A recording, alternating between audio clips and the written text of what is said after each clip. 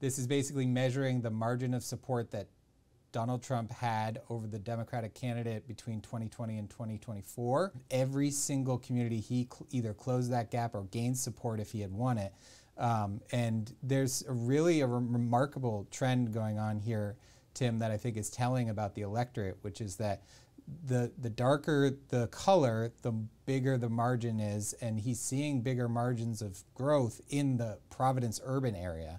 Um, the number one place being Central Falls where he saw his uh, margin increase by 17.1 percentage points. Wow. And that is already building off of a nearly 20 percentage point growth between 2016 and 2020. So Central Falls, which you know, you ask any political operative in the state, that is a Democratic stronghold, and we should note it did vote overwhelmingly for Harris. Yeah, here, we, are. here is Harris. Right here's Central Falls. Are we on 2024? We are. So 63% to 35% um, victory for Harris, but on that heat map.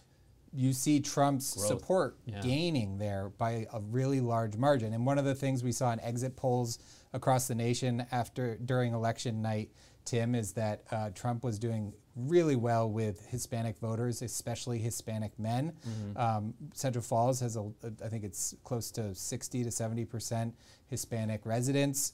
Um, so you see this growth happening there. You see it happening in Providence, and you see it happening in Pawtucket. So mm-hmm. big, big Democratic strongholds, but Trump has been able to make some gains there. As you could tell from us going through it, all of these maps are in interactive, so hang out on WPRI.com uh, and you can toy around with these maps. Eli has a great explainer uh, there as well, so make sure you check that out. Eli, thanks so much for uh, putting this together. Yep, great to be here.